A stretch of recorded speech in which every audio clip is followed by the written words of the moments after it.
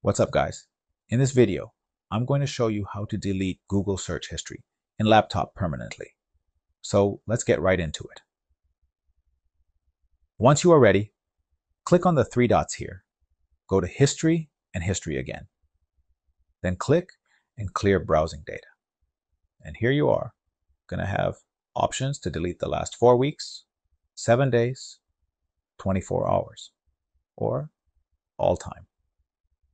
I usually choose the all-time option. There is also advanced settings that you can clear.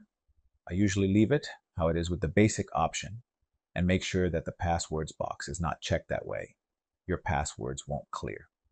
Okay, once you are ready, click on clear data and it will start deleting your data. And that's it, guys. How to delete Google search history in a laptop permanently. If this video helped you out, give it a like and subscribe. See you guys on the next one.